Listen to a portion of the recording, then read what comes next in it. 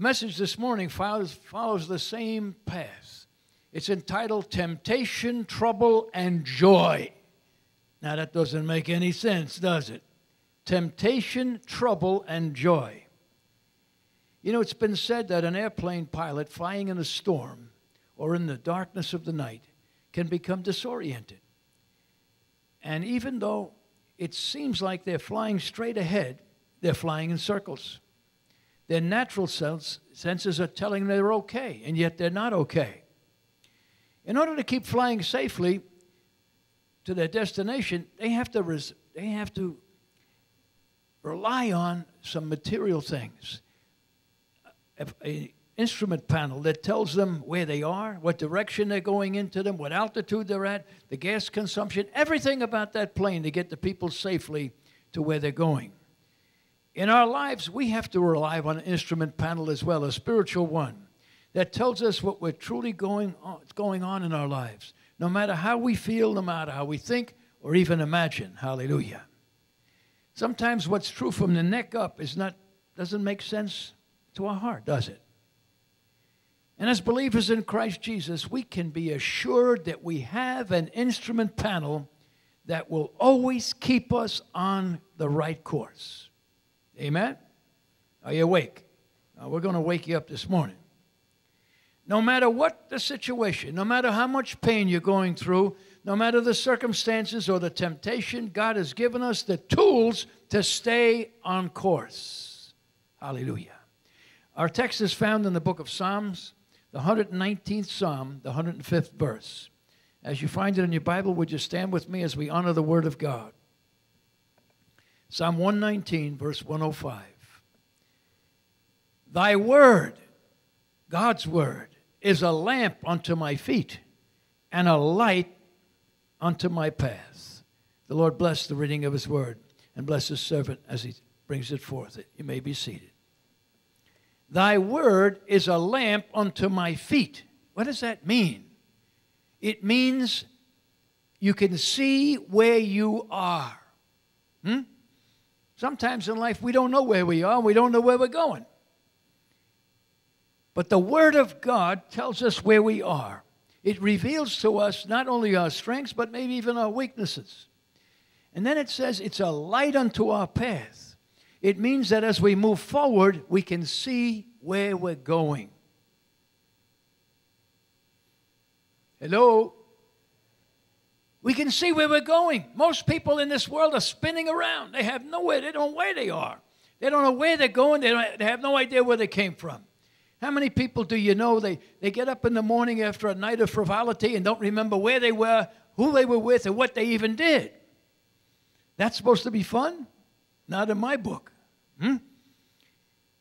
The Bible tells us in John 16 and 13 also we have other things, other tools that God has given us.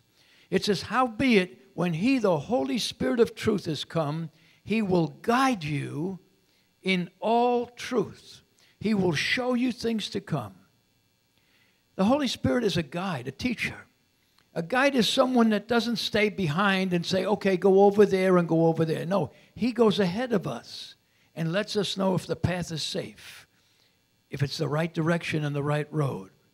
We have the Word of God and we have the Spirit of God dwelling in us. Hallelujah. If you have not figured out already, even believers go through problems. Some people think when they come to Christ, they're going to be in Shangri La. It doesn't work that way, not yet, anyway. We'll get to the great, great place in heaven. But we go through problems, we go through trials, we go through sickness, we even go through temptations. Mm-hmm. Not you, I know. The devil just checked you off for one. Listen to the book of James, written by the, bro- the stepbrother of Jesus. James, who comes to Christ after the cross, becomes the head of the early church in Jerusalem. James, the first chapter, the second and third verse says, My brethren, count it all joy, joy, when ye fall into various temptations. Divers temptation in the King James. Knowing this, that the trying or testing of your faith works or develops patience. Wow. How can you be joyful when you have all these issues in your life? Oh my God. Remember, Jesus tests us and Satan tempts us. Hmm? A test and a temptation, totally different things. Jesus tests us so that we become stronger. I know our illustrious Department of Education and our politicians want to do away with testing because it makes everybody look bad. Right? I have met people with a high school diploma that can't even write a sentence that makes any sense. They warehouse these people through school and they expect them to get a job. I don't know where. A test tells the teacher, the instructor, what the person has learned. Hmm? And if, if it turns out that they failed the test, then it means either the instructor or they are not doing their job. Amen? So don't be afraid of tests because God is there for us. The point here is that the testing of our faith produces endurance and strength, even greater faith in God. When we're tested, we move to another level when we're successful. If we truly understand this as a believer in Jesus Christ, we can be joyful in spite of how we feel. I know you're going through problems. We get the prayer requests every day. And the ones that we don't see are really problems, aren't they? We don't even want to tell anybody about it. But God is there for us. Listen carefully. Even Paul in 2 Corinthians 7 4 says, I am exceedingly joyful in all our tribulation. Paul, you need to go see a psychiatrist. Why would he say that? Again in Romans 5 3. And not only so, but we glory in tribulations, knowing that tribulation worketh patience, and patience experience, and experience hope. One of the things about being tested is when you're successful and you see what God is doing in your life and how He got you through, you can look back and say, you know, He did it before, He'll do it again. Amen? Hallelujah. In 1 Corinthians 13, there's a very interesting scripture that we have quoted, memorized, but what does it really mean? The first part of it tells us that there is no temptation taken you or seized you except what is common to man. There's nothing new in the playbook. The devil keeps using the same things. Even on Jesus, he did. And most of the time, we unfortunately equate temptation with sin. The temptation is a test. What you do with it can become sin. Amen? All right. I know you don't get tempted. You never sin, right? Temptation is a test. And again, once we overcome, we become victorious. Jesus, as a man, was tempted in every way, it says. Every way. Every type of temptation that you can think of, as we are.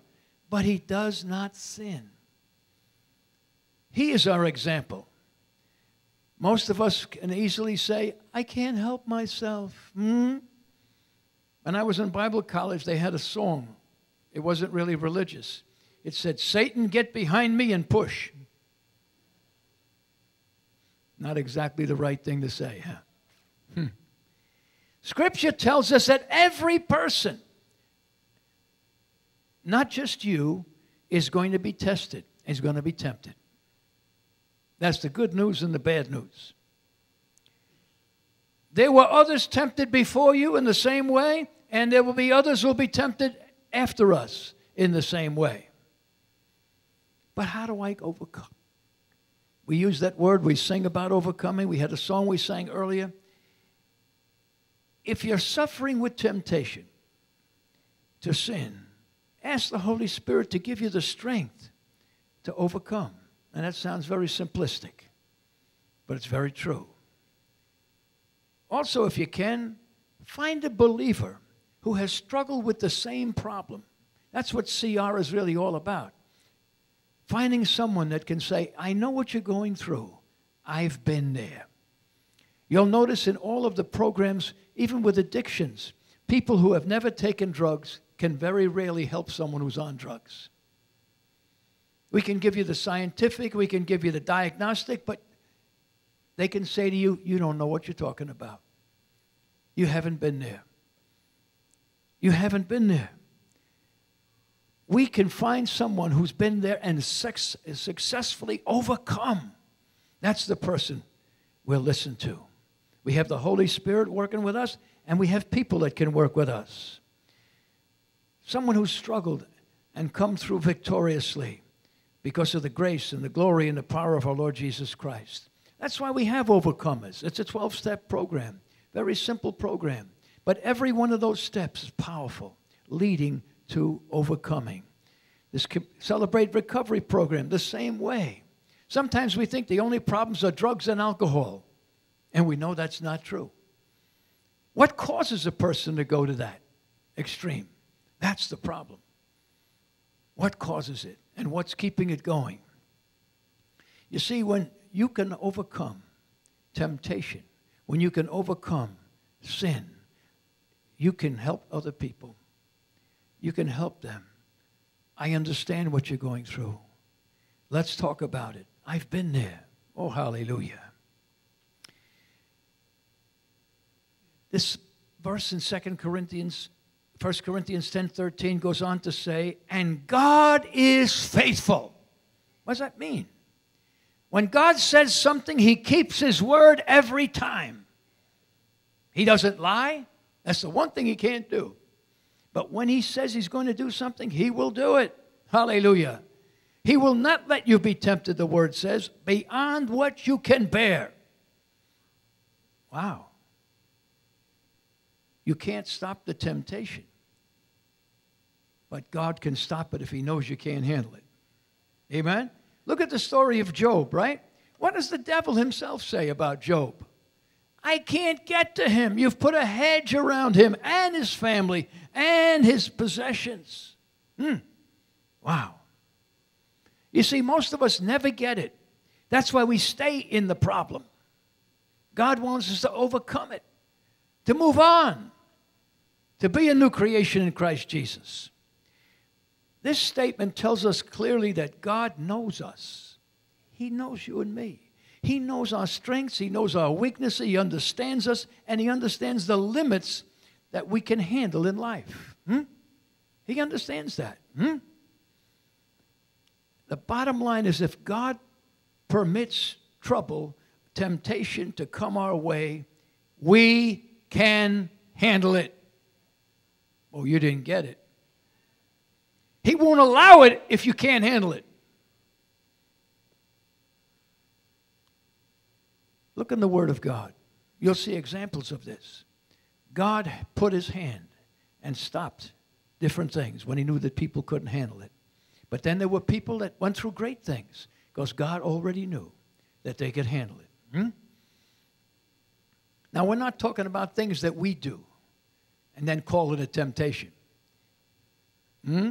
If we cause it, it's our problem. And the good news is, even then, God will help you.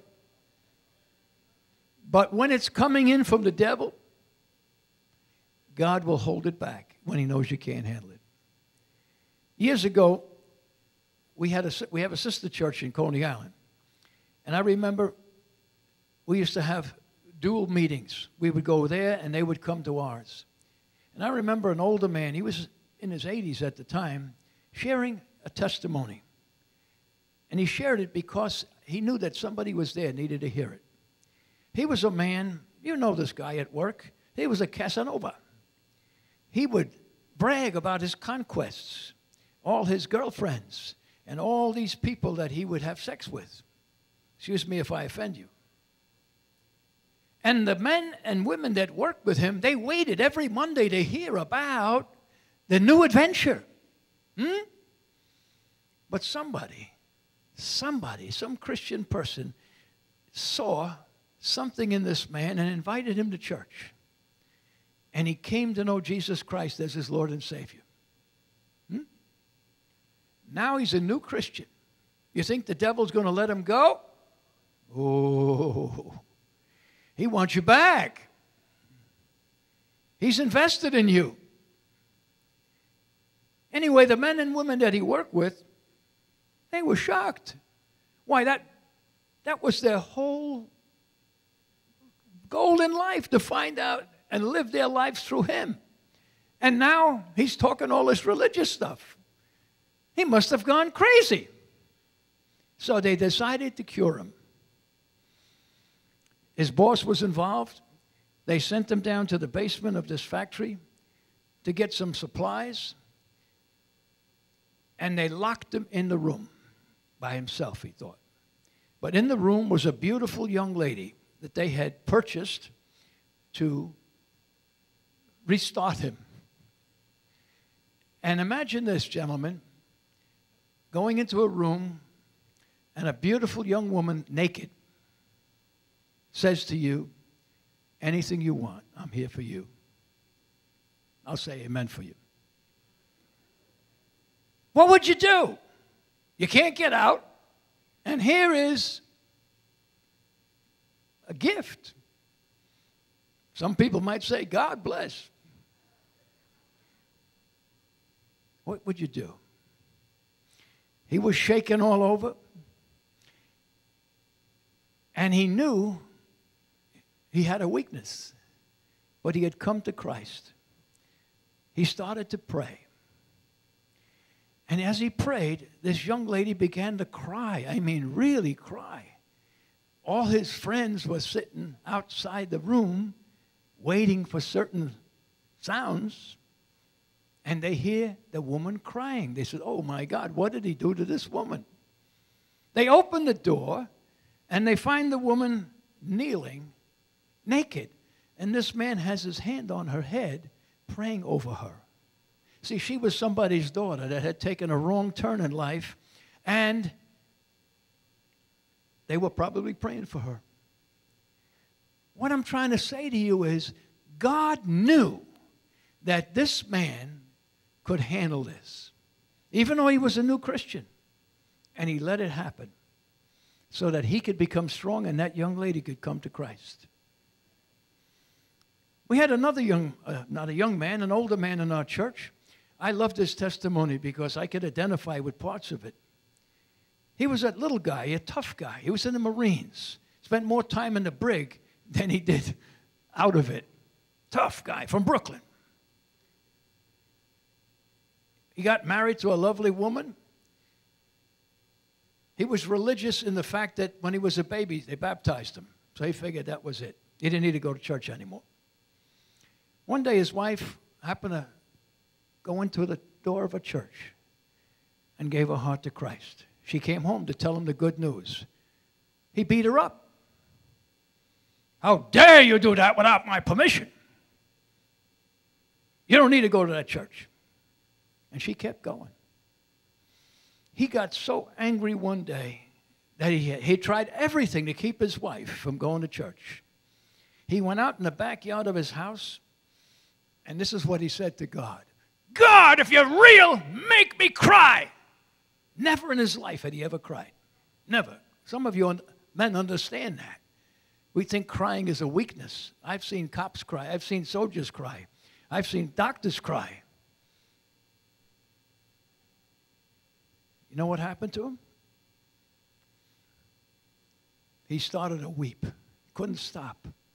And to the day he died, I was proud to do his funeral. That man cried. If you said, Jesus, ooh.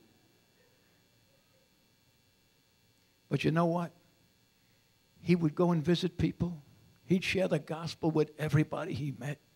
He never, never went back to the man he was after he met the Lord.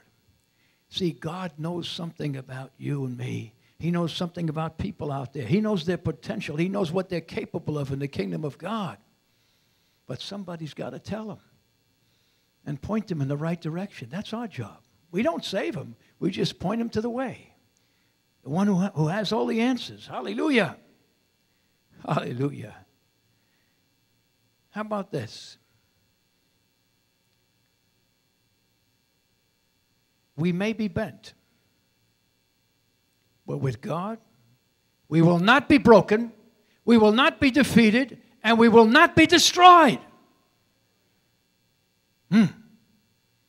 God will keep us He'll hold us up. Hallelujah. He'll keep us from things and people and circumstances that would crush us. He does. He lets you know. We also see in the same scripture that there's supernatural options that God gives us. He has special options available to each of us for delivering us and protecting us from trouble. Hmm? Look what it says here. But when you are tempted, notice it doesn't say if, it says when you are tempted.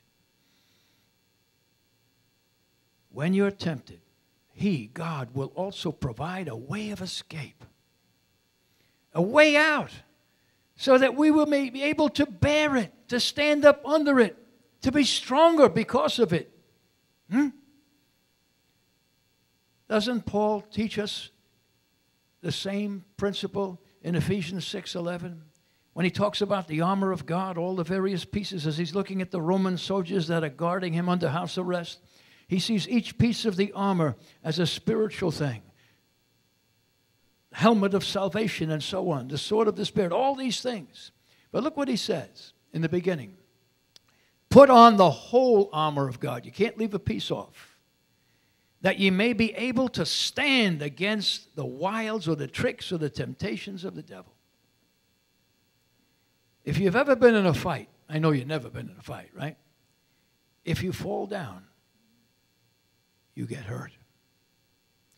The idea is to keep standing. And here, Paul, who came from, uh, from Tarsus, which was a, a town that had a huge stadium and they had all these sporting events, and you could see how it affects his writing. We wrestle not against principalities, right? He talks about having done all to stand. How many times have you been standing in spite of everything that happened to you? I have met saints of God that are horizontal on a hospital bed. They're standing in the Spirit. Hallelujah. How in the world can you do that when you're in pain, when you're going through suffering, when you're going through all kinds of trouble. And yet God expects you to keep standing. Hallelujah. Look at Peter in 2 Peter 3 9. The Lord knows how to rescue or deliver the godly out of temptations. We may not know, but He knows. He knows. And He'll intervene. What this means to us as the children of God is that when we're in trouble, when we're tempted, when we're tested, it may feel like we're in a locked room. No way out. No windows, no doors that open, right? No way of escape. How many know what I'm talking about? Well, if you don't, you will. No way of escape. What are you going to do? There are so many examples in the Bible of this type of situation. Look at the Israelites back in the book of Exodus. Two and a half million plus women, women, men, children. They had escaped from Egypt, from slavery. And now they're going to the promised land, right? I don't know what they were singing, but they were probably happy until they found out that the Egyptian army, the Pharaoh, decided he wanted them back.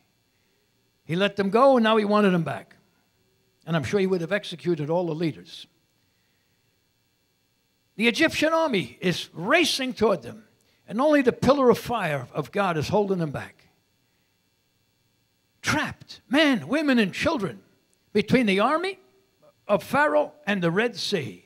No way out. Now, look what they cry out to God.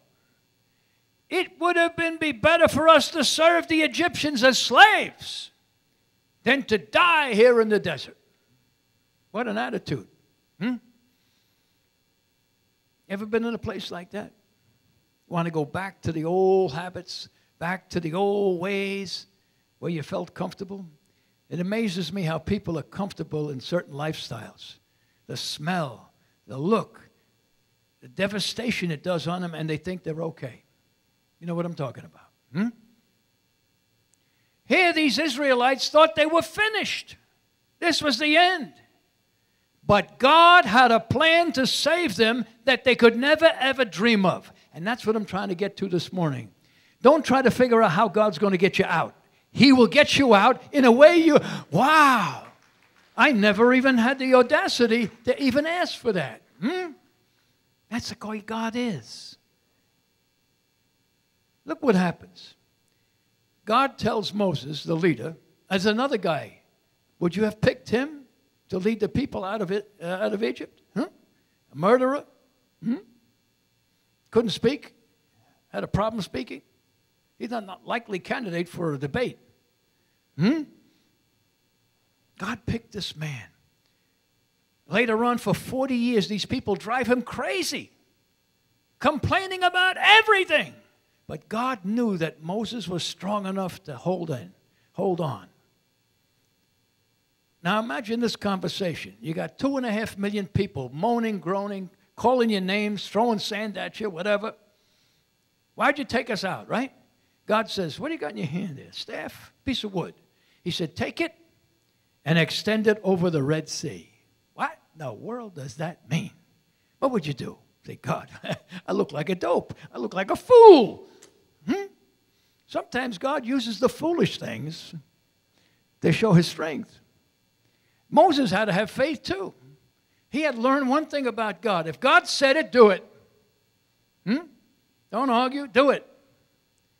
He stretches out his hand and, and this piece of wood, and the Red Sea, some seven miles long and, and 30 foot high, opens up.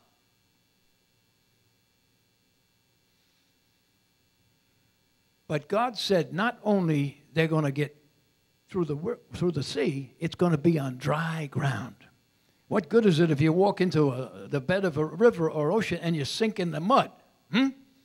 They had their wagons, they had all their they were carrying all kinds of stuff. They walked through on dry ground. Meanwhile, the Egyptians are trying to get to them, and finally, the cloud, a pillar of fire, lets them go. And here they come. And they figure, hey, if they went through, we can go through. See, your blessing is not their blessing. Hmm? And here they are. Oh, we got them trapped now, right? As the last of the Israelites get out of the sea, out of the out of the, the seabed, what happens? The same miracle that saved the Israelites, what happened? It eliminated the enemy. Somebody listening? Hmm? Somebody's driving you crazy? Give them to God. You'd be amazed what God can do when someone messes with his children. Amen?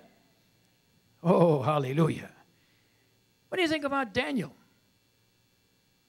Successful in another country, in Babylon. Hmm? He had a high position.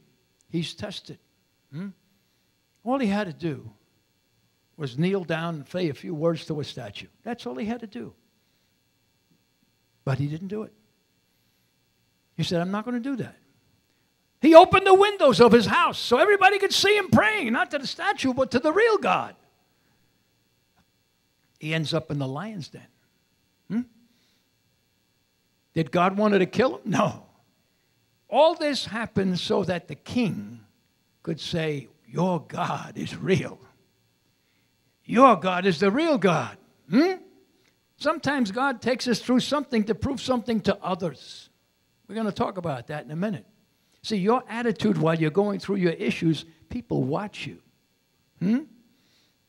If you're walking around, oh God, look what happened to me. Oh, where are you? Instead of saying, God, I don't like where I am, but I know you're going to get me out of it. I know you're going to give me the victory. That's where the joy comes from. The joy comes from knowing that God is going to be there for you. Oh, hallelujah. Look at Shadrach, Meshach, and Abednego. You think they wanted to go into the fiery furnace? No. Again, they were challenged. Worship this statue and you'll be okay. They said no. I like what they said. To the king, what chutzpah? Our God will deliver us from that fiery furnace. Hmm. And if he doesn't, we're still not going to worship the statue. Wow. And what happened? The people that brought them in, because they, the king got mad, he got insulted, made it seven times hotter. They ate up all the oxygen. Those strong men that brought them to the entrance to the, to the fiery furnace, they dropped dead. And what does the Bible say? These three men were walking around in the fire, right? The only thing that burnt was the things that held them. Oh, hallelujah. There's a message in that too. And walking around. And then the king looks in. Wait a minute. We put three people in it. There's a fourth man in there. Now, here's an unbeliever. And he says, and it looks like the Son of God. Wow. Say, wow, that was in the Bible. It can be in your life too. Let me tell you something. One of the ministries that we support, the Voice of the Martyrs, I don't know if you get that magazine. God, I don't know how these people stand up to the persecution they're going through. They rape them, they kill them, they torture them, they execute them. And you can see some of them with scars all over their body families killed in front of them, and they still stand up for Jesus. And most of them don't even have a Bible.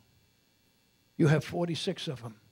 They don't, they don't even have one, and they're willing to die for Jesus Christ. My goodness. My goodness. Throughout the Word of God and throughout the, the testimony of men and women who have come to Christ, we see how they had to endure hardship. They had to endure pain and persecution and even death. But God was always there for them. Did He not say, I'll never leave you, never forsake you? Hmm? Did He not say that? It wasn't just a, a, a vague promise, He means it. Whatever you're going through this morning, God is there with you. God is there with you. You know what the problem is? We give up when the victory is right ahead of us. You want to keep the problem? You want to keep the issue? You want to keep whatever it is? Go ahead, keep it. I don't want it. I want to go to the victory. Don't you? That's why we can have joy in persecution. We can have joy in all kinds of things because God is going to bring us to the joy. Hmm? He's going to bring us to the joy. You'd be amazed if you just live the Christian life that you say you have what God will do for you. I read this story a number of years ago about a man who worked in an automobile plant where they made parts for automobiles. He was a good mechanic, but because he was a Christian and didn't go out drinking with everybody and didn't come up with the stories about his carousing and didn't curse and swear like everybody else, they made fun of him. They harassed him. They did all kinds of things to try him to get him to quit. He didn't quit, kept working. He was there for years. One day a man comes in, says, I want to talk to you. He didn't know who the man was. It was the man that owned the country, the company. He says, You know, I founded this company many years ago on honesty and integrity. He wasn't even a Christian. He says, My name is on this building. I'm ready to retire.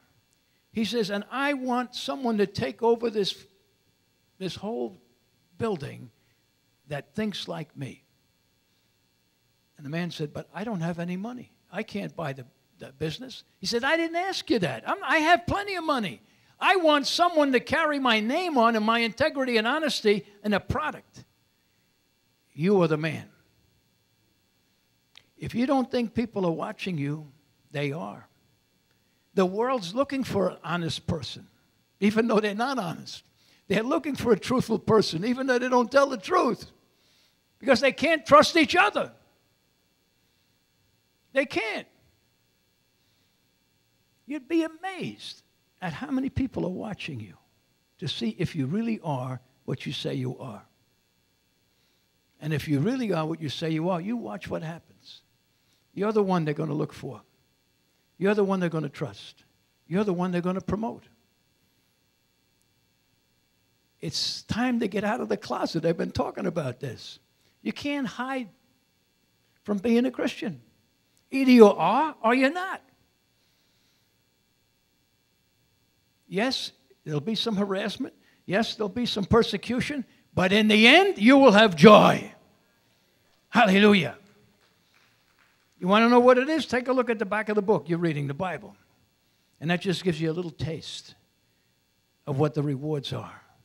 But God gives rewards here too. Hmm? To the upright, to the people who not just say it, but do it. You know your best testimony at work is? Not how many Bibles you give out, your work. Do you do a good job? I've been in places I didn't want to be in, but I learned to do a good job in spite of. Guess what? Some people didn't like that, but some people did. And it caused me to get all kinds of benefits. Look at Paul's resume. Do you think God was right when he picked the Apostle Paul, Saul of Tarsus, to be his missionary to the Roman world? Why would you pick him? You got 11 disciples, handpicked, right? He didn't pick any one of them. Hmm? Why? They all went out and brought the gospel, but a lot of them were prejudiced. They thought you had to be Jewish. If you were a Gentile, you had to become a Jew to be a Christian. In fact, it's the other way around. When you become a Christian, you actually become a Jew because you fulfill all the promises of the Jewish faith in God, the same God. They're stuck in gear. Here's a man who persecuted the church harshly, caused people to die, caused people to be thrown from their homes, caused people to be punished in every other way. That's the guy God picks. See, God knew something about this man that he didn't even know. Whatever he put his teeth into, he was like a pit bull. He didn't let go. He thought he was doing right. He thought these followers of the way were hurting the Jewish faith. You know what I'm saying? He thought he was right till he met Jesus on the road to Damascus, got knocked down, hmm? blinded. God picks a murderer and a person who persecutes the church to be his representative? Hmm? Why? Because God knows us. He knows what we're capable of. He knows our strengths. He knows our weaknesses. He probably knew that every one of those other guys could never do what Paul accomplished. Listen to his resume. This is just part of it. Five times he is whipped, 39 stripes with the bone and the metal in his back. Five times. Most people didn't survive once. Five times. Three times beaten with rods, whacked across his feet, the back. One time they even stoned him to death. He got up and walked away. When would you give up? Three times he shipwrecked in the ocean, betrayed, robbers, tired, pain, hunger, thirst, cold, even problems with the churches that he founded in the name of Christ. Would you give up? He never did. And God knew that. When he picked him, you are going to be my representative to the Gentiles. Now, imagine telling that to an Orthodox Jew. he was like the Hasidim. I'm going to be what? But God knew something about him and about every one of us. Hmm? If you think you can't do it, you won't do it. And if God tells you to do it, He tells you to do it because He knows you can do it. He's not going to tell you to do something that you can't do, that in the end you'll fold. Oh, hallelujah. With all the things He's given us, there is nothing we cannot do for Him. Hmm? In my name you shall what? Woo! Everybody he's talking about. Every believer has power and the ability to use the name of Jesus. Let me end with this. We're going to talk about this next week too. You are a tremendous source of God's power if you just let Him take the wheel of your life. Hmm? If you less stop complaining about the persecution Stop complaining about the things that would hinder you and say, Lord, I love you no matter what, and I'm going to do what you want me to do. Listen to this old hymn. Sometimes on the mount where the sun shines so bright. Sometimes we're on the mountain, everything is fine. Sometimes the mountain's on us. Hmm? God leads his dear children along. Sometimes in the valley, in the darkest night, God leads his dear children along. Some through the waters. Oh, goodness. Some through the floods. We've had some floods, haven't we? Some through the fire, but all through the blood. Some through great sorrow. God gives us a song in the night season and all the day long. That's who God is. Let's stand this morning. I don't know everything about you, and I, I probably will never know everything about you, but God knows. Whatever you're going through this morning, I know you think you're not going to come out of it. I know you think it's going to overwhelm you. I know you think that God has forgot about you. He hasn't. God is here to remind you that you're his child. And he is not going to let anyone mess with you, no matter who it is. Hmm? This morning, why don't you just make covenant with God? We've been talking about that in the Bible study. It's a solemn agreement. Say, God, wherever you lead me, I shall go. What you tell me to do, I shall do. Hmm? Stop fighting with God. He knows what's best for you and me, even if we don't. Father, we thank you for your word. We thank you, Lord, that you are a faithful God. You are the only God. You love us. And sometimes you allow these tests in our life, not to hurt us, not to knock us down, but to build us up so we can go to the next level, that we can help others who are struggling as well.